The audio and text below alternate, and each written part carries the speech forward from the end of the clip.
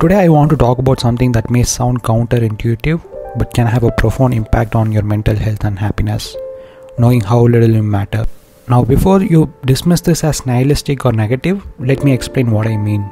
You see, many of us go through life feeling like we have to prove ourselves, impress others, or live up to certain expectations. We often worry about what others think of us and feel pressured to be perfect in every way.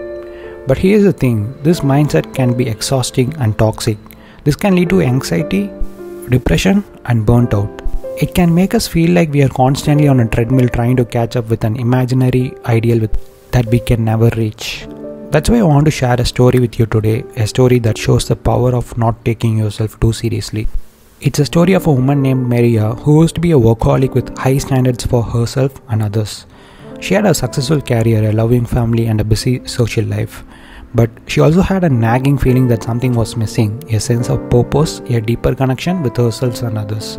One day, Maria decided to take a break from her routine and go on a solo trip to a remote island.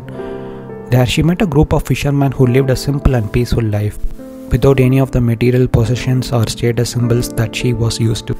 At first, Maria felt out of place and uncomfortable. She didn't know how to communicate with the fishermen or how to cope with the silence and solitude of the island. But as the days went by, she started to open up and listen to their stories. She realized that the fisherman didn't care about her career, her looks, or her social status. They didn't judge her or expect anything from her. They simply accepted her as fellow human being with flaws and strengths, joys and sorrows. And you know what? Maria felt a sense of relief and liberation that she had never experienced before.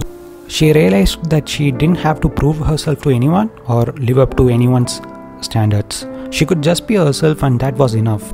When Maria came back from the island, she decided to make some changes in her life. She quit her job, sold her fancy car, and started a non profit organization that helped underprivileged children. She also made a conscious effort to connect with her family and friends on a deeper level and to be more present in the moment. And you know what? Maria became happier than she was ever before. She discovered that by knowing how little she mattered in the grand scheme of things, she was able to let go of her worries and enjoy life for what it is a beautiful and fleeting experience. So, I invite you to embrace the idea that you're a small but precious part of the universe and that your life can be meaningful and fulfilling even without fame, fortune, or status. Don't take yourself too seriously. Know that you matter, but also know that you don't matter as much as you think you do, and that's okay.